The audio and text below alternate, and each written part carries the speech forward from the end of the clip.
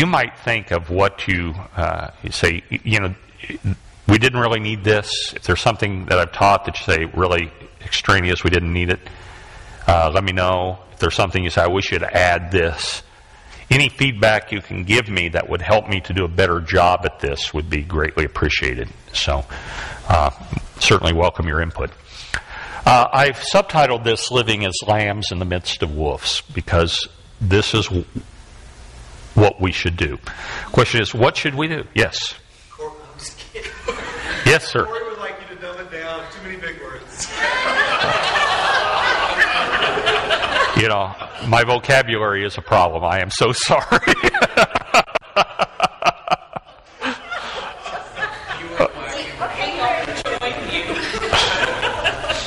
well, I'm starting to believe it really you know, Ask, I don't know all these words. I'm guilty. I don't know what you're talking about. I didn't know who those people were. And, uh, Oh, I'll tell you, it reminds me of a, an experience which is a very, uh, you know, when I first came here, I taught through the book of Revelation, and it, by consensus, it was a disaster.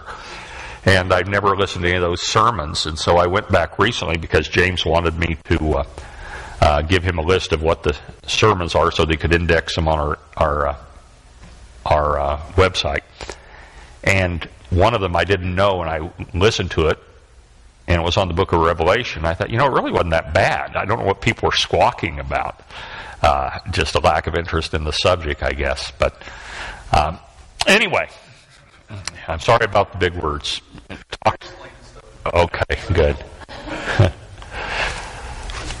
uh, and my flipper, Ben, is not responding to commands.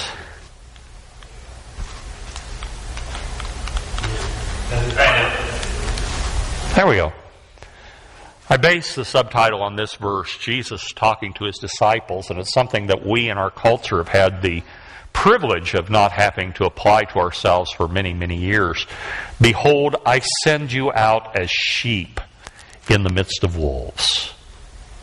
So be shrewd as serpents and innocent as doves. Uh, think of that metaphor. Jesus kind of mixed this metaphor there with the different animals. But can you imagine if you are a sheep that finds that you've wandered into a wolf pack? That is the biblical picture of the world we live in.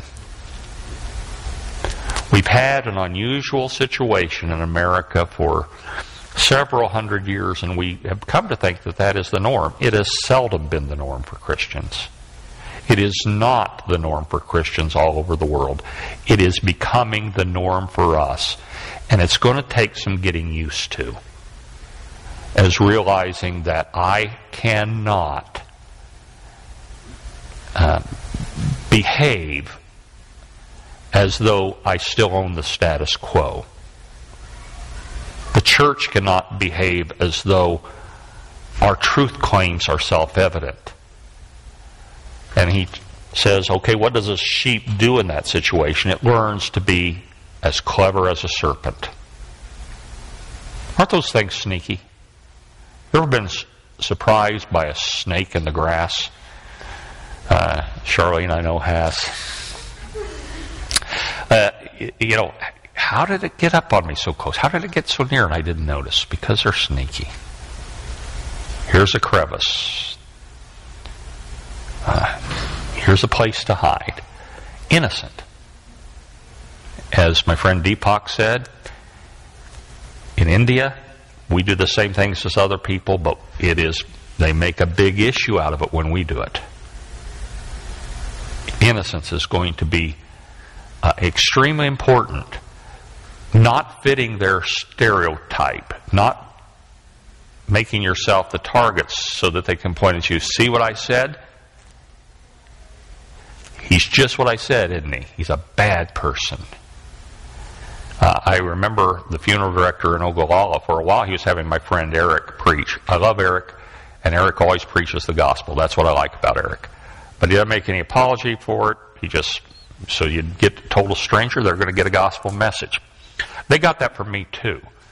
But he quit having Eric because Eric was offending people at these funerals. He said, I want you to do it. He says, You say the same thing as Eric. You're just sneaky about it. That's not bad. We just have to learn how to present our message, same message, but with a little more subtlety than we are used to. Here's another verse that is important Proverbs uh, 3 25 and 26. Do not be afraid of sudden fear, nor of the onslaught of the wicked when it comes. Notice it doesn't say if it comes. Uh, for the Lord will be your confidence and will keep your foot from being caught. It's a wonderful concept to understand. Don't be afraid of sudden fear. Things are happening and suddenly I'm afraid. I was comfortable in this culture. Now I see things happening and suddenly I'm afraid. Uh, don't be afraid.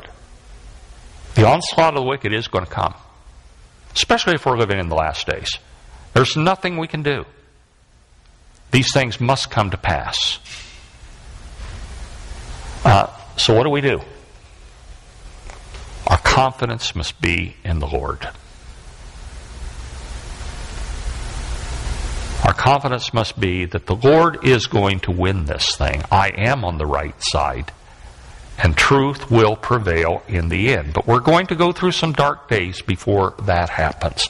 But I'm in this for the long haul. And I'm trusting the Lord. This is what I try to do on a daily basis as I teach in a sec- on a secular campus. To be wise as a serpent, gentle as a dove. Trust the Lord.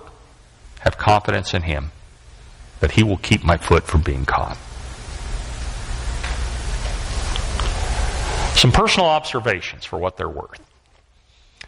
As I look at what's happening in the world today, I tend to react with both distress and alarm, in spite of what I just said. I see what's happening, and almost every day I'm alarmed at some new outrage. And uh, yes, I fight depression.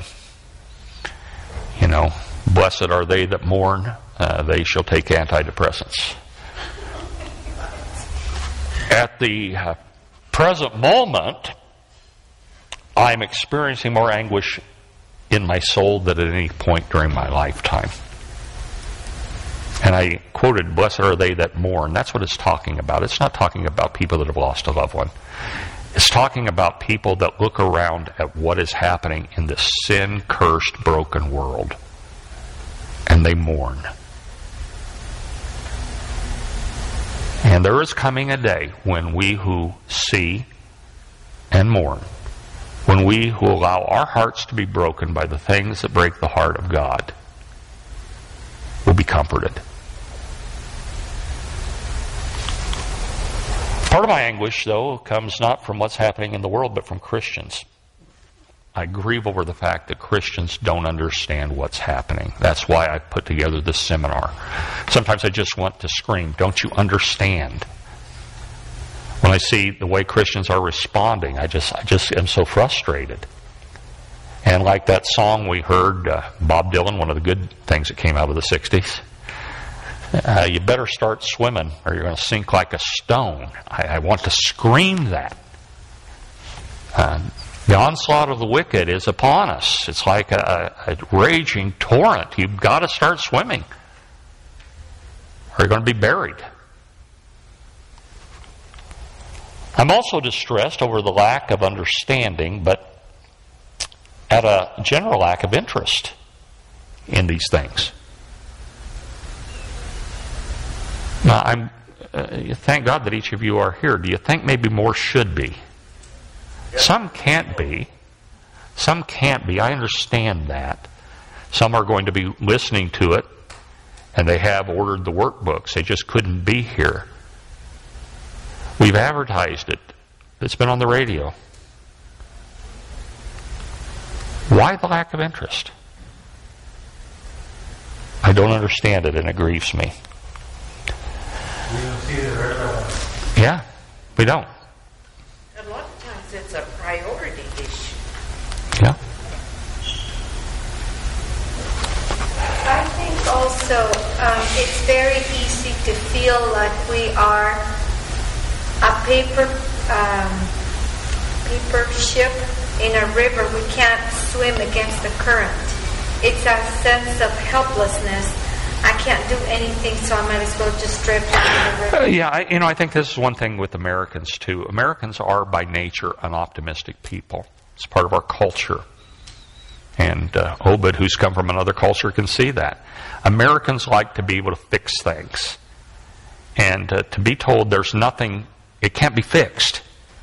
You have to learn to live as sheep in the midst of the wolves because the wolves are not going away. That goes so contrary to the American spirit. You know, we tamed a continent for crying out loud. We went to the moon. Uh, it's hard for Americans. This distresses me because because people aren't aware they're being drawn into this postmodern mindset. You see it on Christian literature, you see it among Christian people. The culture is postmodern in its thinking, and increasingly Christians are postmodern in their thinking too. And I could weep. Uh, I'm distressed because of our ignorance of the culture makes us ineffective in our witness. We're answering questions the world is not asking in a manner which it no longer understands.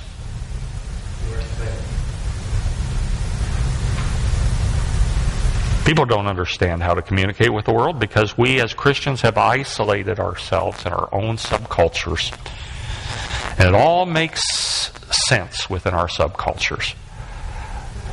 And we don't understand the world. How do we expect to be able to be effective lights and witnesses if we don't understand the world we're living in?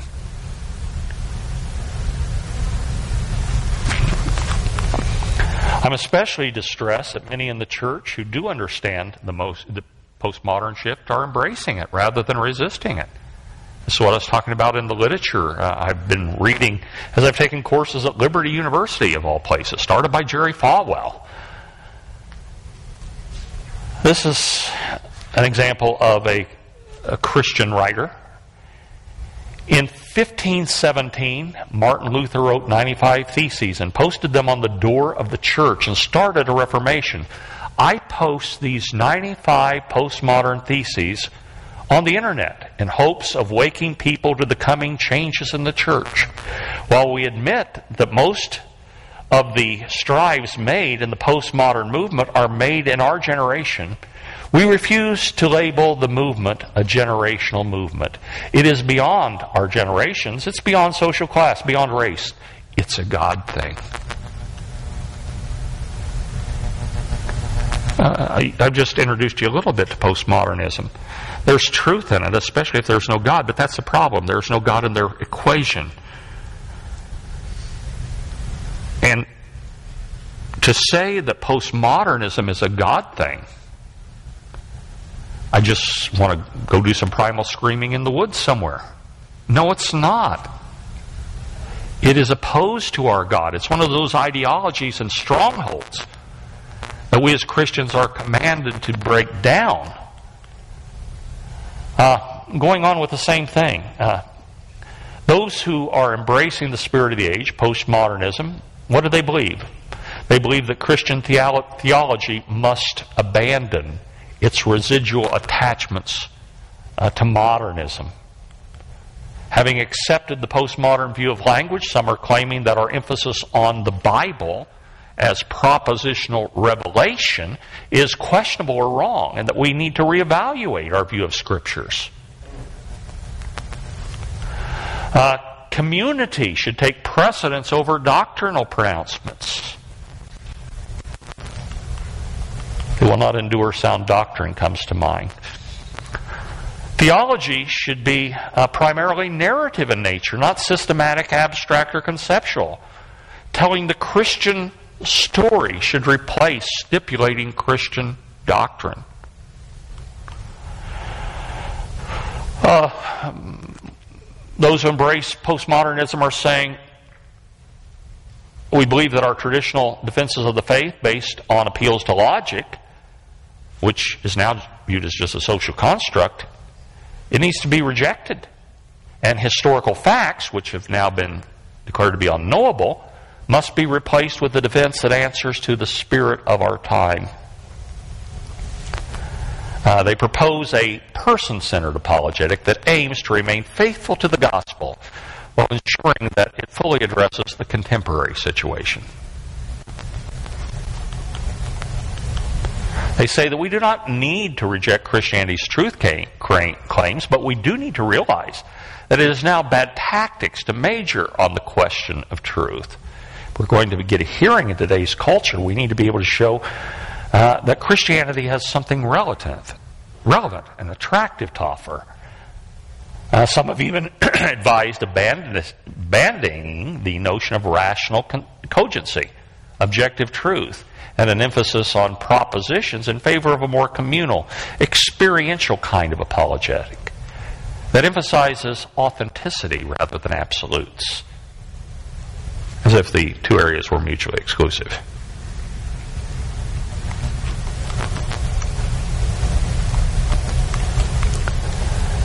Uh, some are saying we recognize that the culture views evangelism as proselytizing, and that's obnoxious.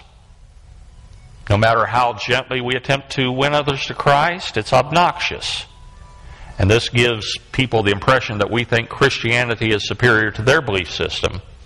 Otherwise, uh, we wouldn't be trying to win converts. So the idea is let's quit trying to in, win converts and let's just do nice things. In the book on Christian, there was a guy who says, Well, I'm going over on my mission trip, we're going to dig a well. If someone comes to Christ, I have an opportunity to share, that's great. Uh, but at least I will have dug a well. Okay, that's good. That's not Christian missions. As a matter of fact, I'll go so bold as to say this those unbelievers in the village that didn't hear the gospel from him will someday curse him on the day of judgment that he knew and didn't share the gospel. That he gave them water while withholding the living water from them.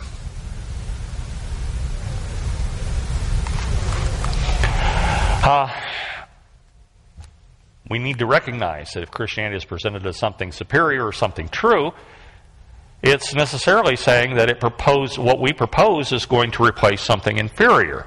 We need to recognize that efforts at evangelism are obnoxious, arrogant, intolerant. Believing then, according to thesis 2 of O'Keefe's 95 postmodern thesis that the community of faith must be relevant, postmodern Christians believe that Christians should refuse to engage in any overt evangelism and accept as a demonstration of the Christian life in the hope that others will simply ask them what makes them tick, which will give them the opportunity to share their story and talk about Jesus Christ. If someone then opts at that point to become a Christian, that's fair. No one's telling them that their own way is inferior or that they're lost. Rather, we have simply decided to try this new Christian way. The reason for doing so is not that uh, the Christian way is true, but that it seems attractive, at least to some people. Why not give it a try?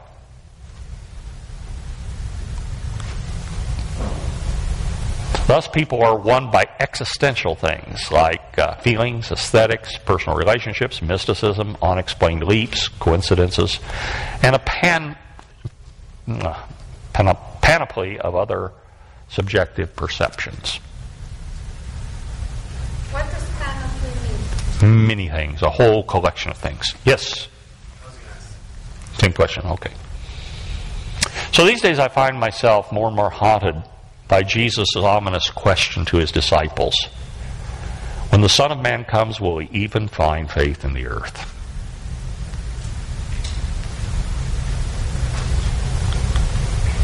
If the approach being advocated by these postmodern Christians is the wrong approach, then what's the right approach? How should we respond to the postmodern shift?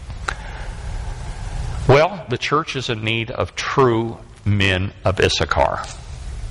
This is the first thing.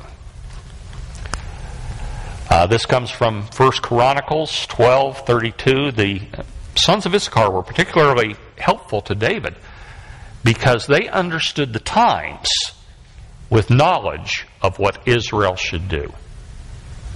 Men of Issachar have both. They understand the times and they know what the people of God should do. Uh, we need to recognize that not everyone who understands the times is a true son of Issachar. There's a lot of people who understand the postmodern shift and are embracing it and saying that that's what the church needs to do. That if we are living in a postmodern culture, we need a postmodern gospel. We need a postmodern approach to postmodern men rather than a countercultural approach that rebukes the culture. So, uh, not everyone that understands the culture is a man of Issachar. I remember in Ogallala, before we merged with the Free Church, they had a youth pastor, and he took me out to lunch and says, I, I want to talk to you. You understand postmodernism. Eric doesn't get it. And I, I, you know, that's very flattering. You know, when you're told you're superior than another preacher, you, you know, swell up pretty quick. And uh, then one day uh, we were in the church, and he said something that was an absolute denial of church. Eric was there. I said, "Fire him." Oh, Carlton. He did end up having a lot of problems because the guy had gone over to the other side. And he finally left to go to Atlanta to start a postmodern church. Uh, so, a lot of people that understand the times think the answer is to capitulate. Uh, what should we do? Isaiah 8:20 to the law and to the testimony if they do not speak according to the word it is because they have no dawn. One of the things we need to do is to look for men then that are teaching and preaching the Word of God as truth. In an age in which telling the truth is a revolutionary act, we need men who are revolutionary enough to tell the truth, to preach the truth, to proclaim it. And this is what we need to seek out and find. They will ultimately be the men of Issachar. So we need to understand people that, that have correctly exegeted the times and then have taken the time to exegete the Word of God so that they understand both the times and the Word of God. And they can teach us from the Word of God what we should do in every season or every situation that we will face along the way.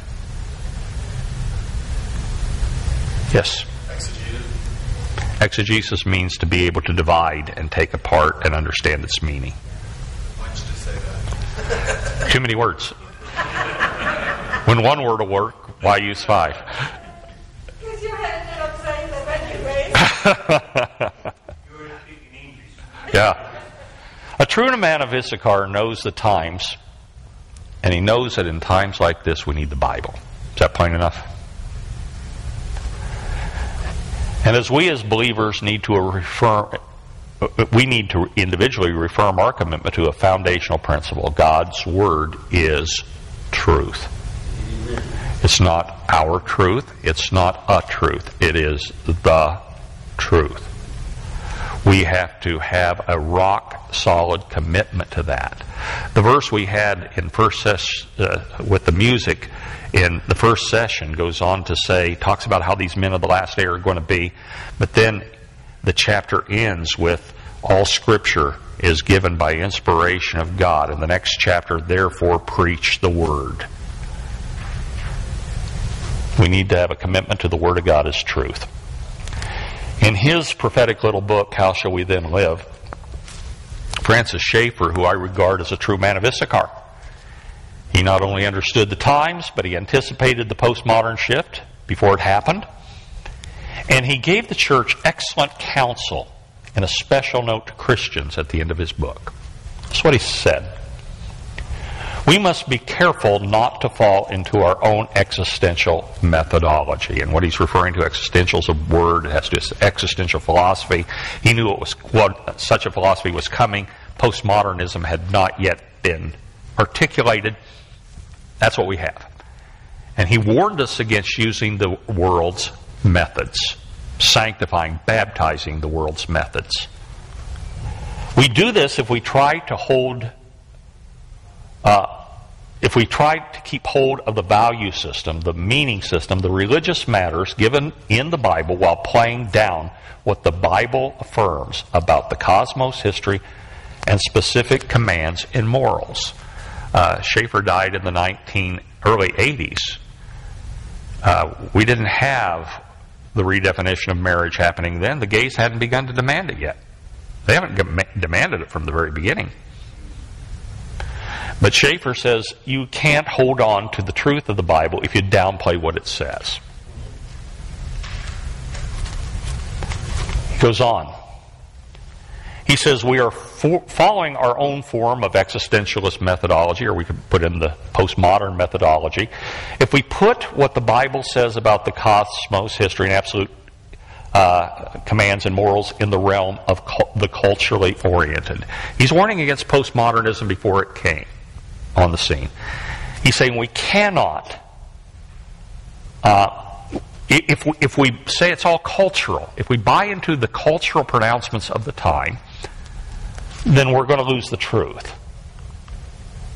If we do this, the generation that follows, that would be Generation X and the millennials, will certainly be undercut as far as historic Christianity is concerned. He saw it coming. He says, What's going to happen if we begin to use the world's methods, if we begin to buy into the philosophies of this world, then we are going to see to it that the next generations of Christians reject biblical Christianity. We ourselves bear the central mark of our generation, we cannot be the voice that we should be to our poor, fractured generation. We cannot be restorative salt, which Christians are supposed to be to their generation and their culture, if in regard to the Scriptures, we too are marked by existentialist or post-cultural, uh, postmodern methodology. This is so simple. Let me. One of Schaeffer's problems is he couldn't break things down. He had too big a vocabulary too. Here's what he's saying in a nutshell: You can't reach the world for Christ if you're just like them.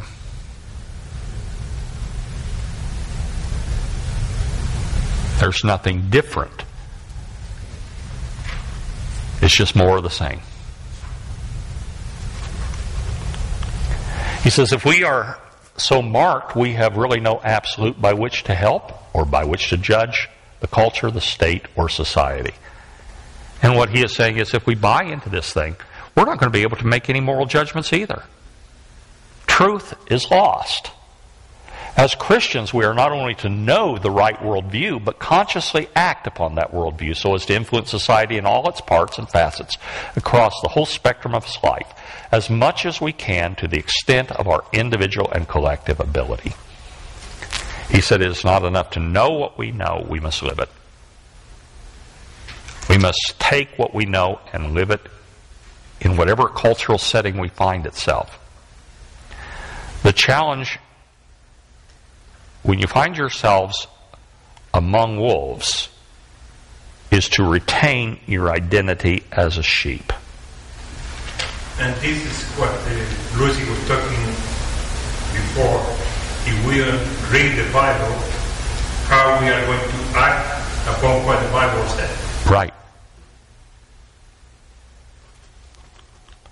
Says when we look at the time of slavery, the time of our industrial revolution, with gratitude to such Christians as Elizabeth Fry and Lord Shaftesbury and William Wilberforce and others who spoke out and acted publicly against slavery and against uncompassionate use of accumulated wealth, will future generations be thankful that in our day we did the same sort of thing? Talking about an earlier time, there was slavery, and in England there were these brave evangelicals who boldly spoke out against it, even though it was against the culture. And we look back and say, what great men and women they are. What will future generations say about us?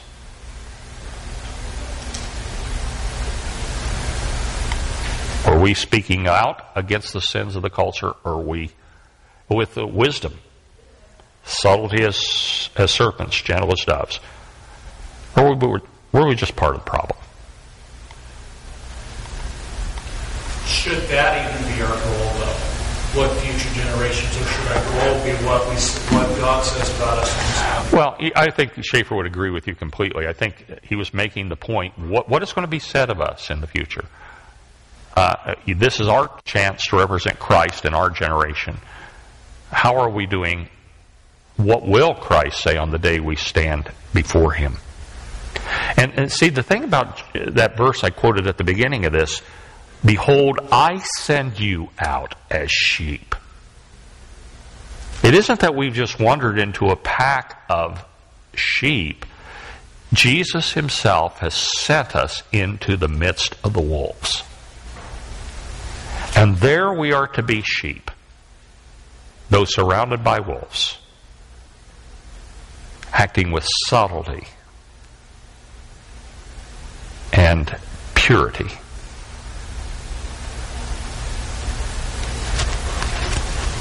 And what is our response? We don't want to be out there. Let's come in, build a wall around ourselves, and we'll stay together in our little subculture. We'll be okay. Yes. I have a little trouble. I understand about being amongst the wolves and whatnot. I used to be in, in the sheep business. We, we didn't have wolves. We had a lot of coyote trouble. Almost as bad. And I never saw a lamb yet that had a half a chance. No. How do you, how do you, I, I don't understand how to do that. I understand, uh, I understand shooting coyotes, but I don't understand how that lamb, how, how are we gonna, how are we gonna, how are we gonna stand for truth and be, And make it that almost sounds like we're supposed to be non-confrontational. Well, here's, here's the deal. Here's the clue. Uh, let me answer it as directly as I can. We don't have to survive. Okay, well, Where do you get this? What, where do you get this thing that, that the goal is to survive the experience? yeah. Bert. I, I kind of have, have had the same thoughts, but I guess I come back to the Lord saying that He is our shepherd mm-hmm. and He will protect us. Yeah, behold, I will be with you always. even at the moment of death and martyrdom. Yeah. You see, the call to us is to be faithful to our God in a time such as this, to be willing to bear the reproach of men, to be willing to endure marginalization, possibly persecution and death itself. If we are willing to accept this, we can achieve greatness in our time. We have the opportunity to be as great as any Christian generation that has preceded us. But it's not going to be easy. Lucy? There's a song that says that the blood of the martyrs is the seed of the church. There isn't always in the, the Eastern Church. The martyrs got wiped out. The church got wiped out. So sometimes it has been. Uh, sometimes it has not. Whether God uses our blood as the seed of the church is His business. Our business is to be faithful. Don't we still have to stand against evil? We have to still- Yeah, but but how do we do it? That's the big thing. Let me finish some of this, and then we'll talk about some of the specific practical questions. We're not excused from speaking just because culture and society no longer rests as much as it once did on Christian thinking, but we must be realistic and understand that doing this may be costly. That's the answer. But in, in the battle, we're going to learn some things about the Lord, about ourselves, that we didn't know before. Mm-hmm. And that, that that cost might be our life. Yeah, If it is, if it is, we've got to be ready for that. So what? Yeah, and in the situation I'm in now, I may not, at some point in time, some student may complain. I may get in trouble. I may not have this uh, job, this anticipated new career. I could lose it at any time. I know that. But that cannot be my worry. My worry must be, and it's hard, but must be that I must be faithful in proclaiming truth to a generation that desperately needs it. Isn't that what it all comes down to? As Americans, we've been taught all our lives that it's all about us. And so that notion that we sacrifice our life for Christ just as he sacrificed our his life for us is a foreign concept even for us in the church and that we might have to give up everything we have to serve Christ and we can't pull ourselves up by our own bootstraps. It's Yes. a totally foreign concept, and even the church we fight against it. Yeah, and, and again, if the shepherd says, I send you into the wolves, we go. And you say, but sheep don't have a chance. That's where the shepherd sent us. It's where he placed us. We were born in this time, this culture. We were born for a time such as this. We are the generation that must face these issues as generations before us have faced their issues. And the challenge in every generation is the same. What should we do? We must be faithful. We must be faithful to the Word of God. We must be faithful to God. We must be faithful to Christ. Just reading the Gospels, or not the Gospels, but um, what happened to the disciples. Yeah. He sent them as sheep in the midst of wolves, and the wolves killed them all. But they were faithful. And because they were faithful, we're here today as Christians.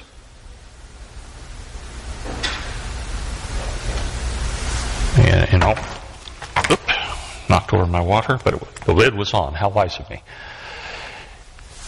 If the approach being advocated by postmodern Christians is wrong, okay, the church needs men of Issachar.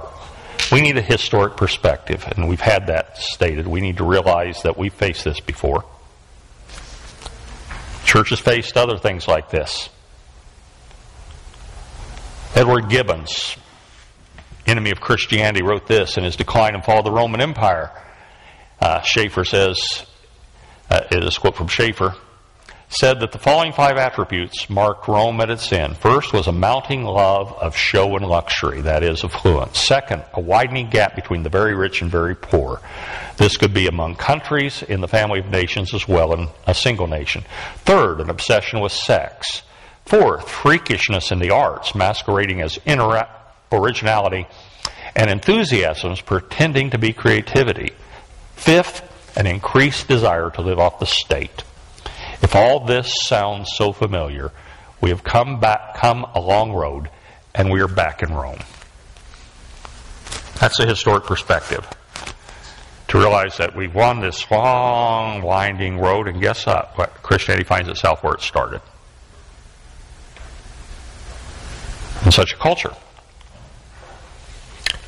Here's a thoughtful uh, analysis of another man of Issachar. This is Jeffrey Satinover, the best book on homosexuality and the Christian response to it I've ever read. Uh, I have given away more copies. I'm going to quit buying them because I can't keep them.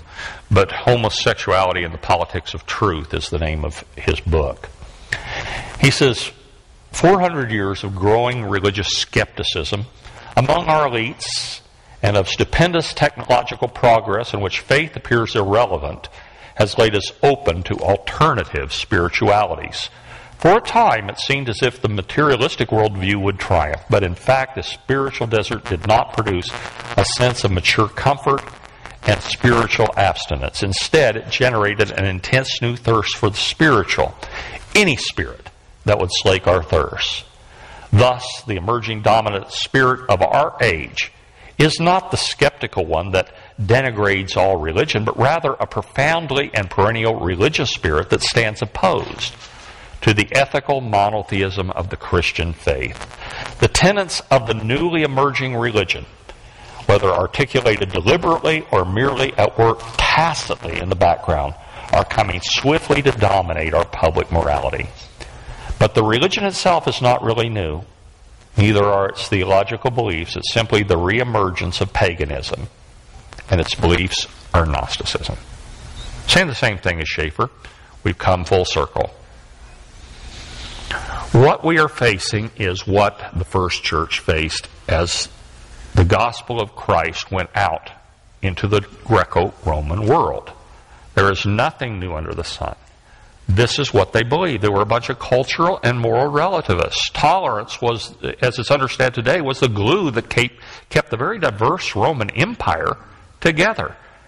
Uh, the whole theory was uh, believe whatever you want, but agree that everyone else is okay too. It was Christianity's exclusiveness that got them into trouble. All they would have had to do was tip the hat to the imperial cult. We're full circle. We've been here before. And somehow, where, where's the Roman Empire today?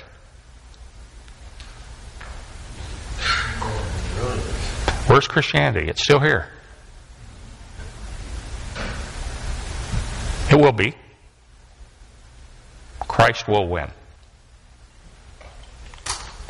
Part of paganism's appeal stems from the fact that pagan spirituality makes few moral demands on the individual. Thus, it's more tolerant of human differences. That is diversity. But the reverse side of paganism is a deficient concept of evil. Okay? Nothing's evil. If everything's acceptable, there's no evil anymore. There's no sexual immorality, there's just sex. If the approach is wrong, then the church is in desperate need of two men's of Issachar. We need this historic perspective. And since the first church faced the same challenges we face today, we need to examine the texts which were produced at that time to see if they give us any instruction as how we should respond. If they face the same challenges we face, then the New Testament is more relevant than it's ever been.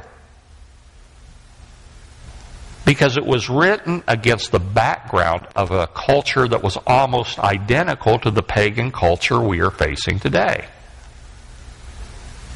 And all of the instruction that was given in the New Testament to believers was given to people facing the challenges we're facing.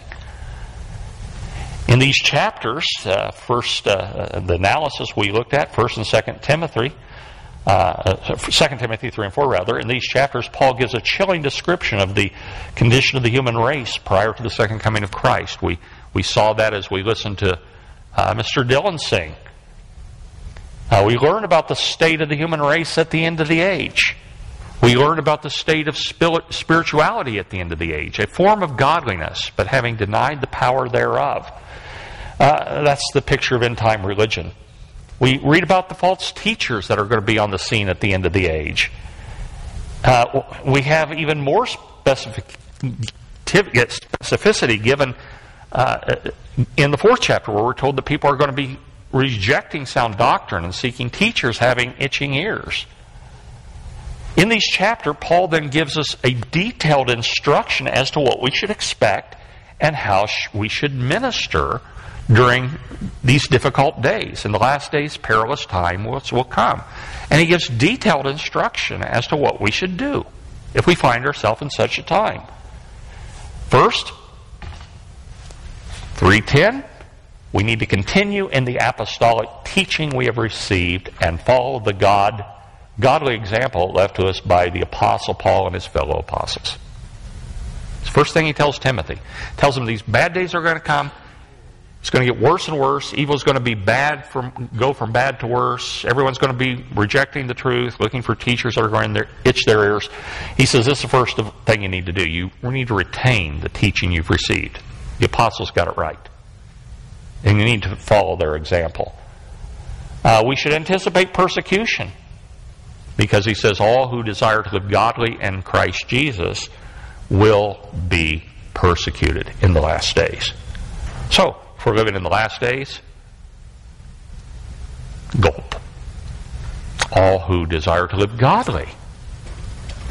Not people that are, are going around preaching, but even those who have a desire to live a godly life in such a time are going to experience persecution because of it, and we should be ready to follow the example of the apostles. Uh, we should have a steadfast commitment to the tradition that's been passed down to us. We should have a steadfast commitment to the Word of God. We need to have confidence and power that it can give us, the Scriptures can give us the wisdom that leads to salvation through faith in Jesus Christ. Uh, we need to have confidence in its source. All Scripture is God breathed and is uh, useful for rebuke, exhortation, so forth. We need to have uh, confidence in the sufficiency of the Word of God, that it has all that we need to be thoroughly equipped for godly living in such a time. And we should recognize that we have been given a solemn charge to preach the Word. We're to preach it in season and out of season, when it's popular and when it's unpopular. Uh, we, our preaching should include reproofs, rebukes, exhortation. Our preaching should be marked by patience and doctrine, which is really kind of crazy because we just heard that the world is not going to endure sound doctrine. And so what he's saying is they don't want it, preach it anyway. It's not about who has the biggest crowd, it is who is most faithful to the charge we have been given. And even though there will be no demand for sound doctrine, preach it anyway. Our charge is to give the world what it needs, not what it wants. And the ev- evangelical church's deliberate disobedience and compromise in this area is, in my opinion, one of the most troubling of all the things that are happening in our world today. We are the world's monkey. What do you want us to do? You want us to dance? We'll dance. You want us to climb a wall? We'll climb a wall. You tell us what you want, world. We'll do what you want us to do. We're also told that we need to be sober in all things. That means we're to be serious minded. We're told that we're going to need to endure hardships, and we're told that we need to do the work of evangelist even though the world thinks it's rude and cultural imperialism or whatever. We are to share the gospel. Some will be saved, most will not. But we preach for those who will be. And then he says, Fulfill your ministry you've received the, from the Lord. Fight the good faith. Finish the course. Keep the faith. This is the answer. I wish I could give you uh, more. How do we sustain ourselves at such a time? Well, such a time, Jeremiah saw his whole civilization fall apart, and he says, I recall this to my mind, therefore I have hope. The steadfast, the Lord's loving kindness indeed never ceases. His compassions never come to an end. They are new every morning. Great is thy faithfulness. The Lord is my portion, says my soul. Therefore I have hope in him. The Lord is good for those who wait for him. To the person who seeks him, it is good that he waits silently for the salvation of the Lord.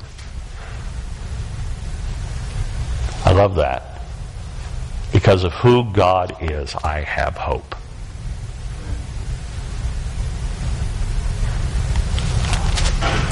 And that is it.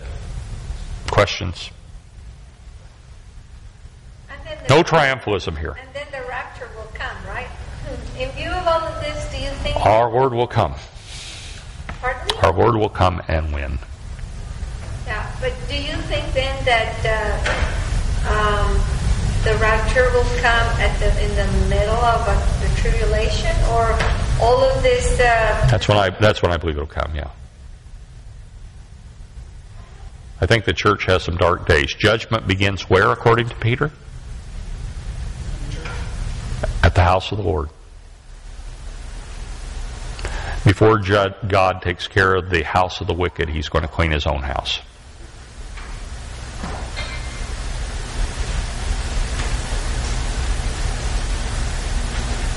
Yes, Do you guess that the great falling away has already occurred, or is it's happening.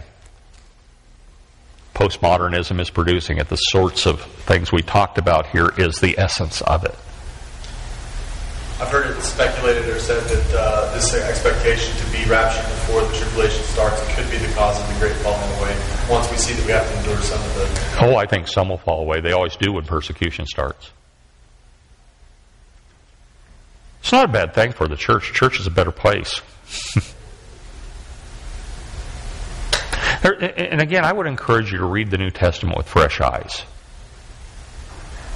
Read it as a document written to Christians who were living in a culture like our own. And then everything in it tells you how we as believers, as a church, are to be, what we're to be doing in times like this.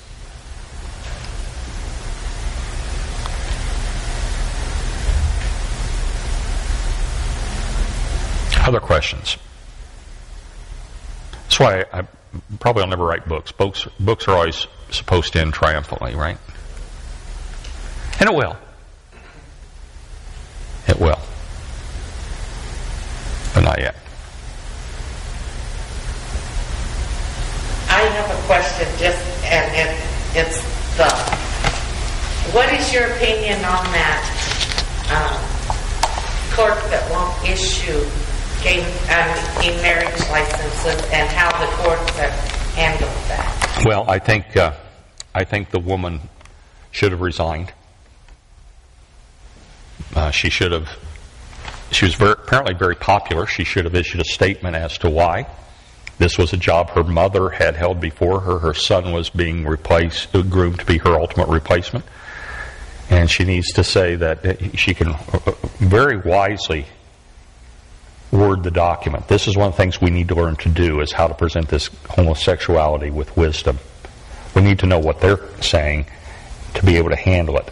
And I think the I think Ben uh, Carson has handled it very well as he's been asked about it. And I I, I think uh, what we need to do is is we need to uh, say something to this effect. Uh, you know, there are many things in the gay agenda that I, as a Christian, can agree with. I don't believe anyone should be bullied, persecuted. I believe people ought to be able to free their own lives. But as a Christian, there are certain things Christians have believed about marriage for a couple thousand years, and the Jews believed that in a couple thousand years for a couple thousand years before us. And we believe that marriage is an institution that was created by God and defined by God.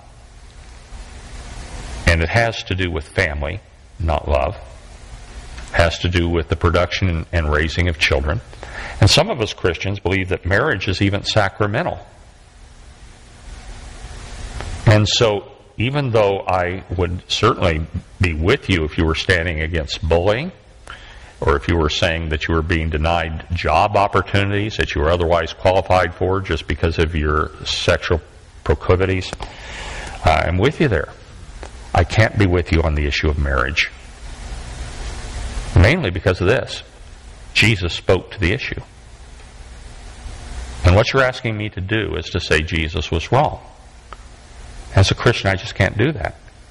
Even though I care about you and don't in any way want to hurt you, you're asking me to do something that as a Christian I cannot do. I cannot bring myself to say Jesus was wrong in what he taught about marriage.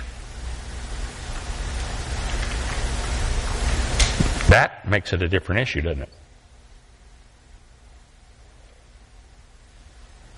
I guess I'm struggling with why we got to be so nice about it. Because we're in the middle of wolves. Very nice about it when he talked about homosexuality, when he says it's a stench in my nostrils.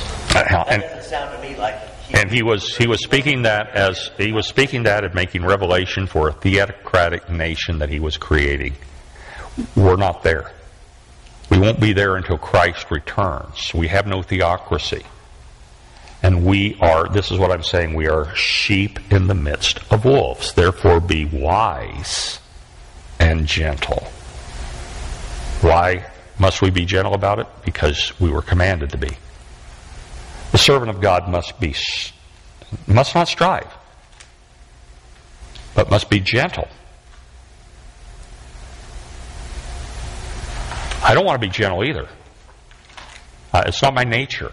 And what's wrong? I was created being a warrior, but there's a way to fight the war that is effective, and there's a way to fight the war that is not. For the gay activists, there's nothing I say that will satisfy them. But for others who have been deceived by their rhetoric, I'm giving them something to think about that they would not think about. They already have me pegged as a hater. They already, I've broken the rule of intolerance as far as they're concerned. And so what I have to do is I have to be uh, gentle. But evil is still evil. It's still evil, but it if I get up and say it's evil, how, what is that going to do? Makes me feel better, perhaps, because I've spoke my mind. But who's it going to persuade? If we'd have been saying evil was evil a hundred years ago, we might not be in the jam that we're in right now. But we're in this jam. and we can't go back and say what we should have said 100 years ago and redo that. We're where we are now. And so now we have to be learn to be very wise. And we are commanded to be gentle. And it goes against my nature. Anyone knows me knows in my Facebook I've had to tone back because I just come across meaner than I want to. I'm not trying to be, but that's the way my writing is because I tend to be so frank in my writing. But if I'm pushing away the very people I desire to reach, what am I accomplishing? See what I'm saying? Are, you going to reach them anyway? Yeah, you do. You think so? Yeah. You moderate their position. You, you win a, the opportunity to be heard again. That's what Paul did on Mars Hill. Paul went in and he, he gave his presentation on Mars Hill, and as soon as they, they got to the gospel, they started scoffing, tuned him off. But some said, We'll hear you again about this matter. That's what you want. Yes.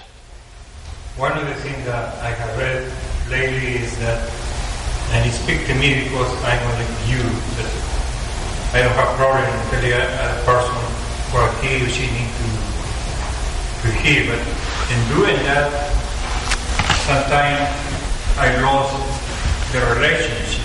Mm-hmm. And, and this is what I, I have come to the conclusion that we need to state the truth in a way that we can keep the relationship open because we are in the business of reaching people for Christ.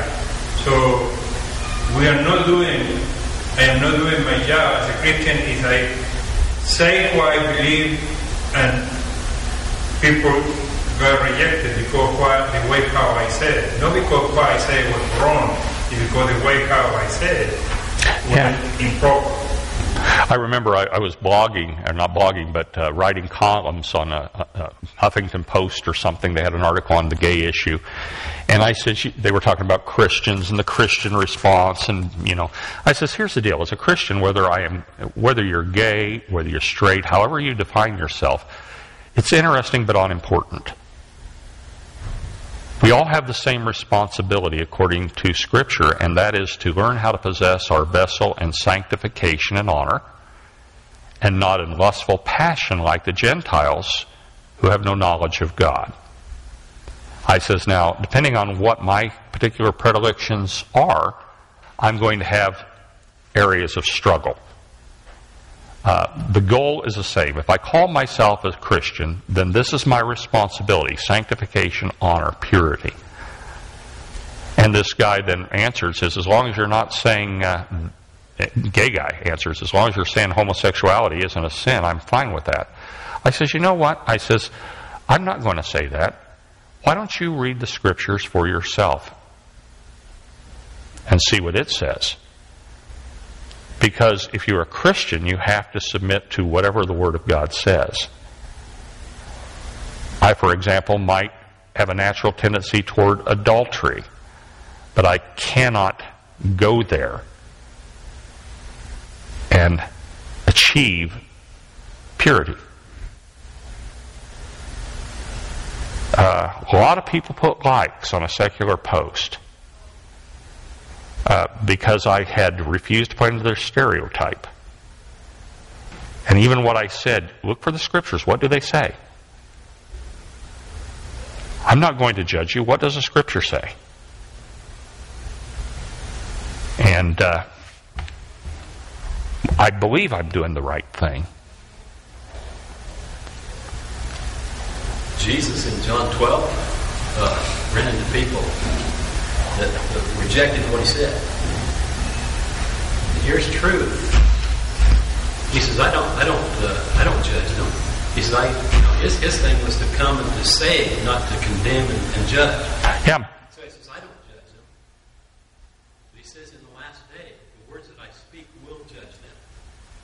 But as he was on the earth, he never judged, and he was the truth. And if he's not going to judge, then why do I? And the Apostle Paul says, What do we have to judge those who are without? Our responsibility is to judge those who are part of our group.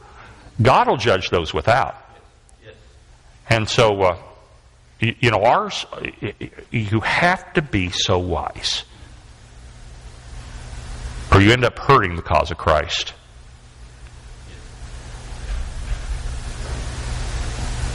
And uh, when you are me, I was born to be a warrior and fight. but uh, I have to learn how to fight with